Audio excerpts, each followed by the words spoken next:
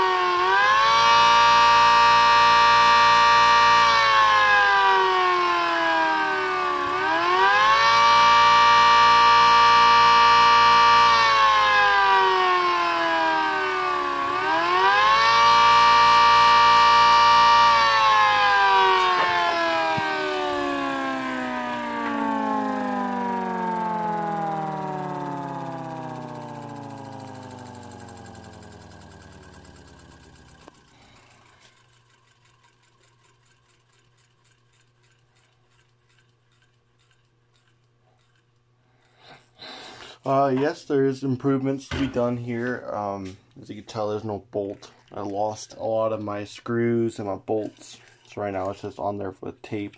The stator is only on there by one screw. And so, I'll show you the rotor here. I just printed this last night. So here's the rotor. This is a 810 rotor. I 3D printed this myself and designed it myself on Fusion 360. But I think it turned out pretty decent. It needs to be sanded a little bit, as you can tell. I didn't do supports because this took a two this took two days to print. But yeah, there you go. 8 slash 10 Hurricane. ACA Hurricane. There you go.